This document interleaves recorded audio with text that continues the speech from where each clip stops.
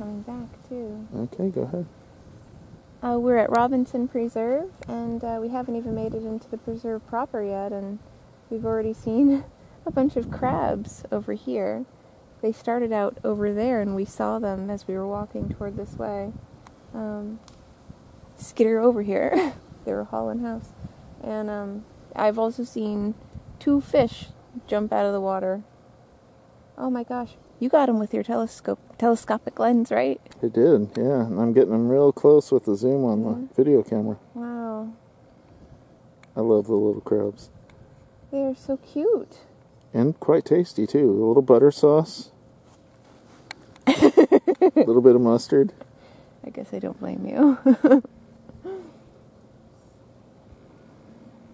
There's quite a few of them.